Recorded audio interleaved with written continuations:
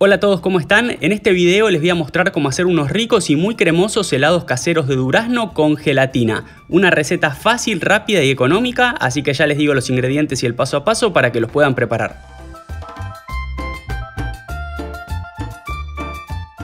Necesitamos una lata de duraznos en almíbar de 820 gramos, de la que vamos a usar solo los duraznos sin en almíbar. Reservamos dos mitades y el resto las ponemos en el vaso de una licuadora o mixer, licuamos hasta que nos quede un puré y reservamos.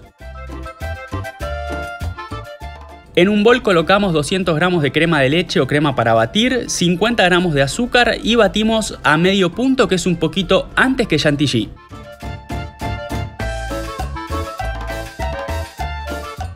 Tiene que quedar espesa pero no tan consistente. ¿Ven? Así, todavía cae de la cuchara.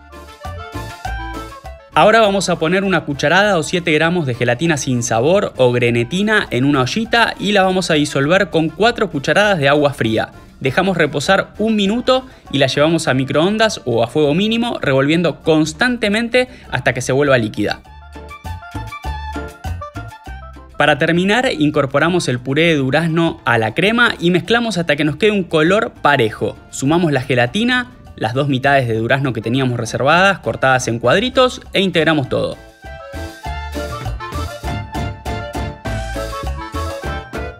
Los helados los pueden hacer en moldes o en vasitos descartables de metal o en cualquier recipiente que tengan. Llenamos con la mezcla, pueden dar unos pequeños golpes para asegurarse de que no quede aire abajo, tapamos con papel aluminio y le insertamos los palitos que por el aluminio van a quedar bien sostenidos.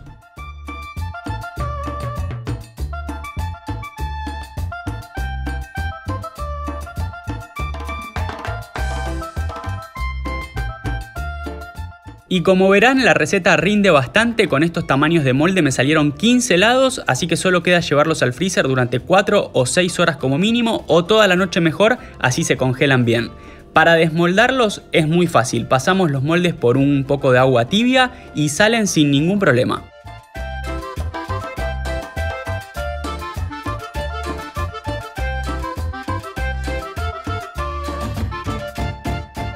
No saben lo ricos que quedan, súper cremosos, estoy seguro que les van a encantar, además son muy fáciles y como vieron se hacen en un ratito. Si les gustó este video, espero me apoyen regalándome un like, compartiéndolo y si quieren suscribiéndose al canal para seguir creciendo y haciendo más recetas. Les dejo un saludo y nos vemos en la próxima. ¡Chao!